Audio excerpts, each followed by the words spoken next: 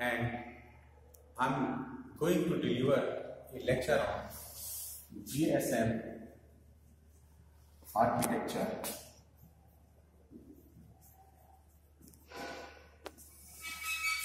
GSM stand for Global System for Mobile Communication.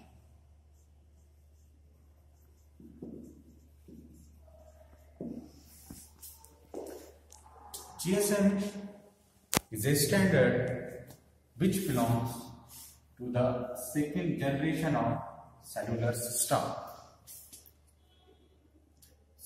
GSM is a standard which is developed to cater voice and data transmission using modulation, digital modulation techniques. So let us try to understand the architecture of GSM network. GSM network composed mobile set which is attach with S which stand for base station sub system and BSS is attached with NSS network switching subsystem.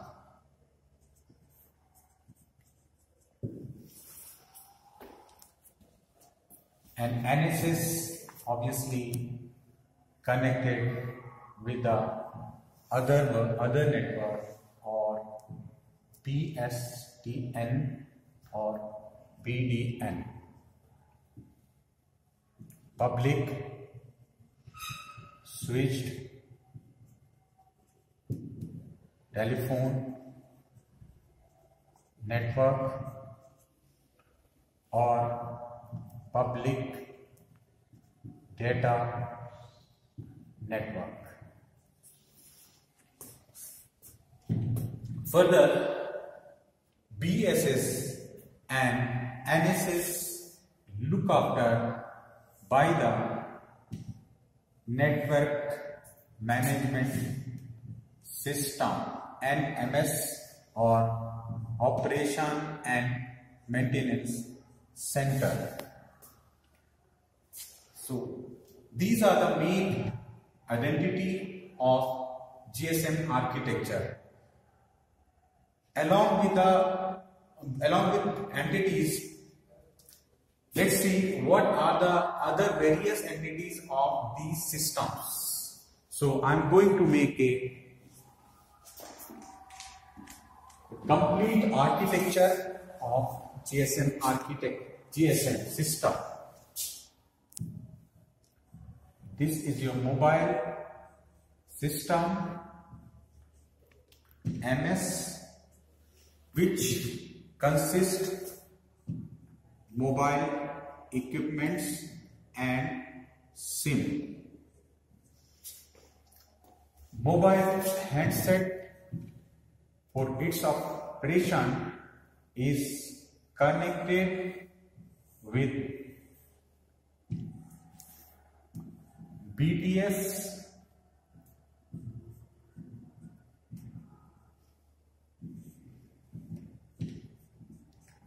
BTS wirelessly. Further, BTS is controlled by BSC. This is base station controller. This is BTS this is also BTS stand for base trans receiver station. So BTS are controlled by BSC. BSC further attach which the managing part of the GSM architecture which is comprises with MSC, SMSC short message switching center and GMSC.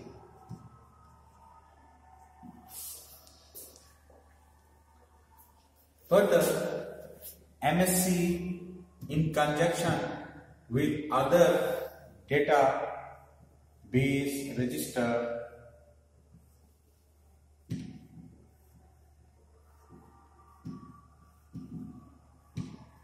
these are the database register which work together with MSC.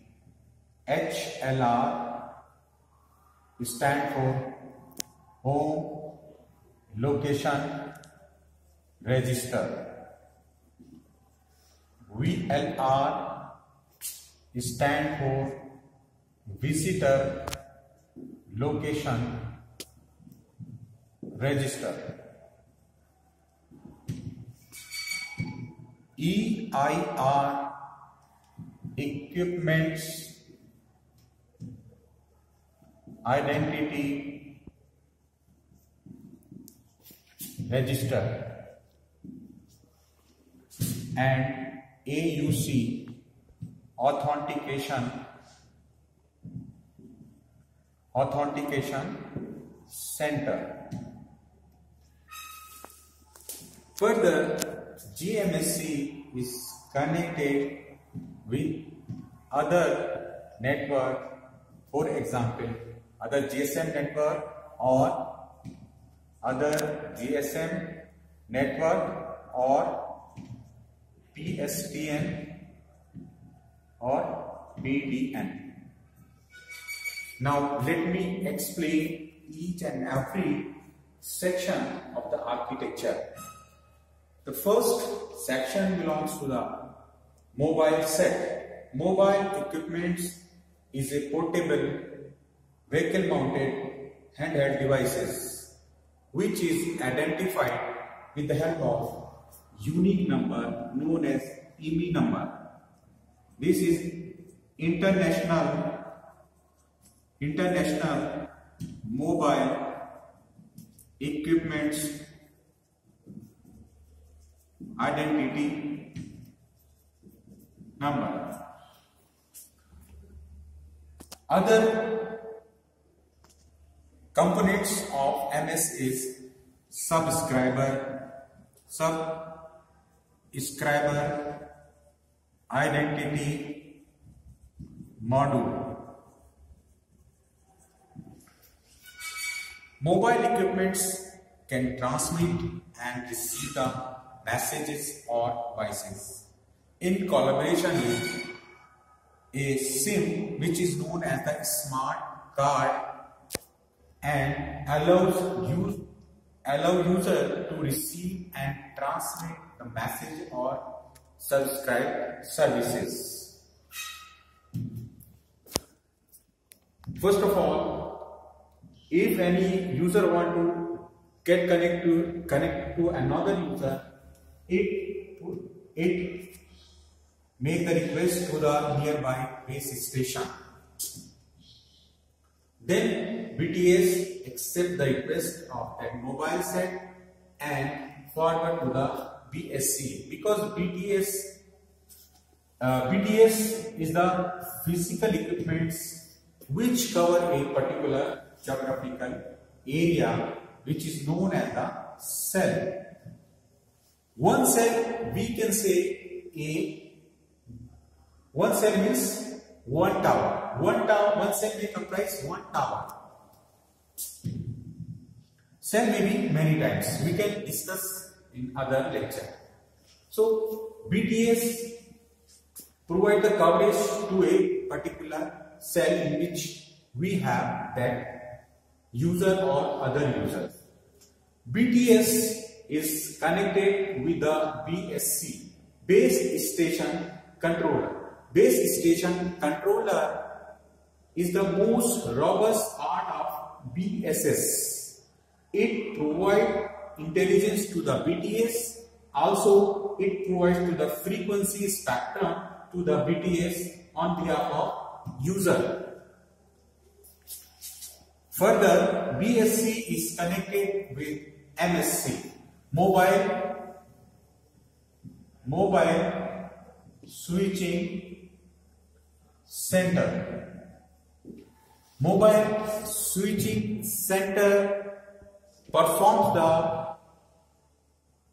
call processing, call processing functions, securities, authentication, and verifications in collaboration with some database register such as home location register. Home location register contains the administrative information of subscribe of sub of any subscriber which gets registered in the network. It is the permanent data stored in the HLR of a user. This HLR works in collaboration with a SIM card. Other database which we have location register. Location register is used when a user travels or moves from one cell to another cell or from one city to another city. So temporarily the data of that user are kept in visitor location register.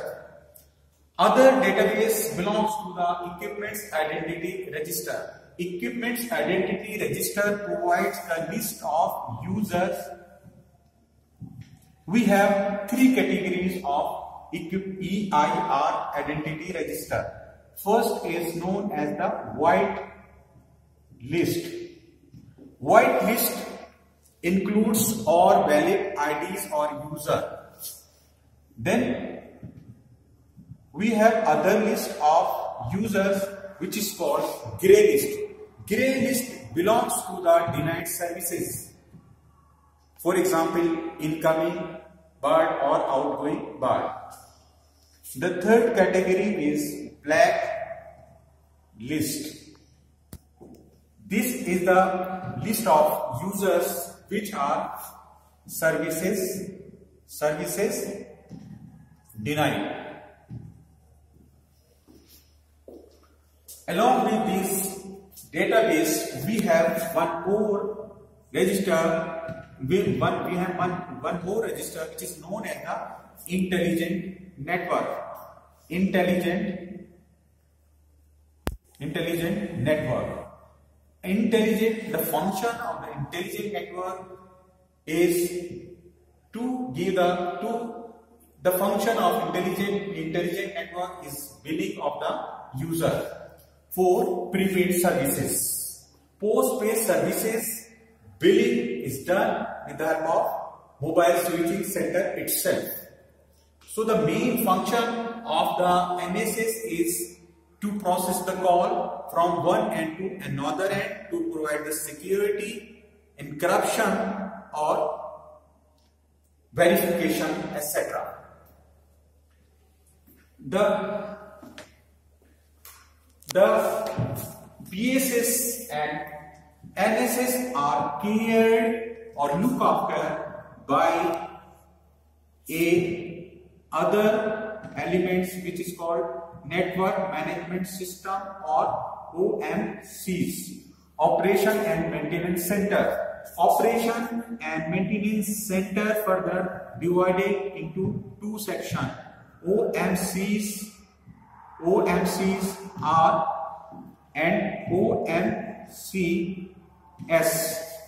This section look after the radio, radio, radio problems or things, and the OMC look after the switching issues of the network.